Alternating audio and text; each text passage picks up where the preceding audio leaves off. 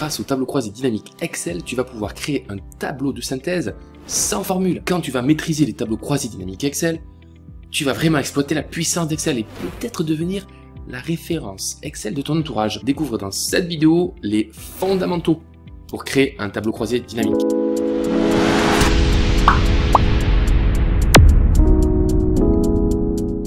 Salut, c'est David le Toulousain. Ici tu es au meilleur endroit pour apprendre Excel grâce à des tutoriels dynamiques et très concrets. Pense à t'abonner pour découvrir mon nouveau contenu, pour que tu puisses découvrir de nouvelles astuces Excel pour devenir un peu plus excellent. Donc, comme d'habitude, tu peux télécharger le fichier dont il en description de la vidéo et, reste bien jusqu'à la fin parce que je vais te donner une, une, petite astuce bien sympathique, méconnue de la plupart de ceux qui utilisent des tableaux croisés dynamiques. Alors, un tableau croisé dynamique, Qu'est-ce que c'est? C'est quoi cette affaire? En clair, les tableaux croisés dynamiques sont des tableaux que tu vas manipuler comme tu veux.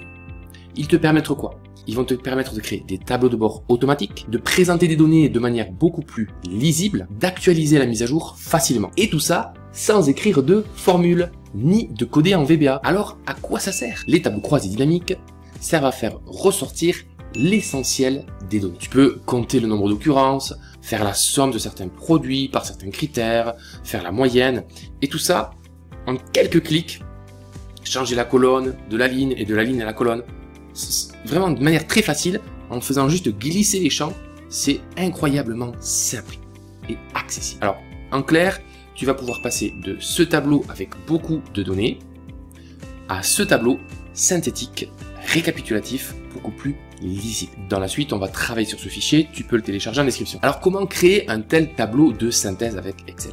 Voyons cela étape par étape. La première étape est de bien vérifier la cohérence et la propreté de vos données.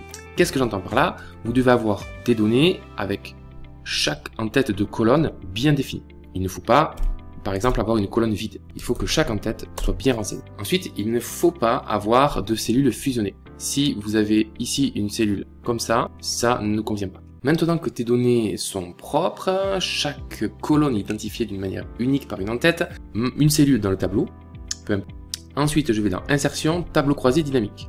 Et ici, Excel va m'entourer en surbrillance le tableau de données par défaut qu'il trouve. C'est très bien. Il me propose de créer une nouvelle feuille de calcul. Je peux aussi le mettre dans une feuille existante, mais je vais choisir une nouvelle feuille de calcul. Je fais OK. Et là, j'ai un tableau, vide encore, et à droite, j'ai une liste de champs, avec quatre zones identifiées. Le filtre, les colonnes, les lignes et les valeurs. Alors que se passe-t-il maintenant? Admettons que je vais devoir euh, identifier la production de blé pour chaque continent. Alors, il est question de blé en termes de valeur, la production de blé, donc je vais prendre la colonne blé et je la fais glisser dans l'espace valeur. Et je relâche. Et ici, qu'est-ce que j'ai?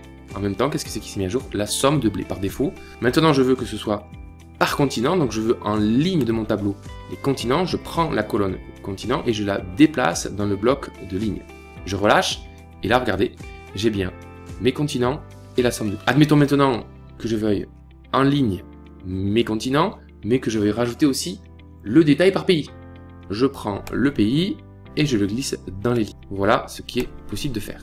Alors, c'est puissant. Et ce n'est pas tout, je voudrais non seulement le blé, mais également le maïs et le soja. Donc je prends le maïs ici, je le rajoute en valeur, et vous voyez qu'en même temps, dès que je relâche, j'ai une troisième colonne qui s'affiche, la somme de production du soja par continent et par pays. Et vous me direz, mais on n'a pas vu le filtre. À quoi sert le filtre? Alors si je place ma catégorie dans le filtre, vous allez voir apparaître ici un filtre. Et je peux filtrer par catégorie. Je vais prendre par exemple que la catégorie 2 et 3. Et mon tableau sera actualisé en fonction de ce filtre. Sans code. Avant de terminer, deux petites astuces. La première, c'est au niveau des entêtes de colonnes. Ici, je veux par exemple le blé. Si je fais entrer, attention, Excel va me donner une erreur. Il va me dire, euh, le nom existe déjà. Effectivement, la colonne blé a déjà été définie dans mes données. Et il ne peut pas la redéfinir avec le même nom. Donc, petite astuce, vous pouvez, au lieu de le nommer blé, vous pouvez nommer blé et puis un espace. Comme ça, c'est transparent pour vous, mais pour Excel, c'est deux libellés différents. Donc ici, je vais mettre blé, maïs, espace et soja, espace.